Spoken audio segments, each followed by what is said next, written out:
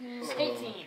It seems that the presence of gaming clubs is growing bigger by the day. This semester, a new gaming club called the D&D or Dungeons and Dragons Club was started here at Wayne State College by D&D enthusiasts like club president Justin Lester. Here on campus, there's a lot of interest in Dungeons and Dragons. Uh, the sci-fi group was normally the harbinger of that. They had a lot of D&D people. There were so many people that wanted to do Dungeons and Dragons, but they had no access to it, partially because books like this are very expensive. So hopefully with this club support, we can gather all of the people interested together and give them opportunities in Dungeons and Dragons.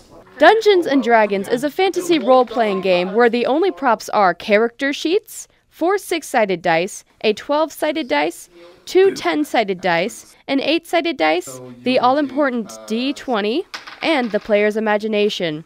Other items such as books and maps are also key in playing this classic role-playing game. Critical thinking is very important when you do Dungeons and Dragons because the Dungeon Master, which I am one of the Dungeon Masters here on campus, we are the computer. We're everything in the game and your mind is your computer screen. Even though the Dungeons and Dragons Club is in its humble beginnings, it has already attracted the attention of many people on and off campus.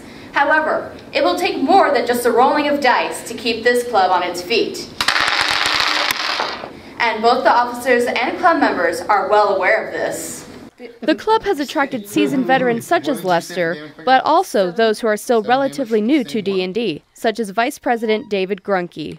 I first got into D&D last semester when uh, Justin invited me into a campaign. My freshman year, I wanted to join a D&D group. However, I wasn't able to because no one on campus is accepting new members and anyone else has their own people that they run with.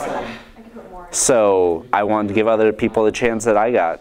Already, this club is growing popular, but its meetings will not officially start until the fall semester. Even so, we wish this club the best of luck in provoking more interest in the game.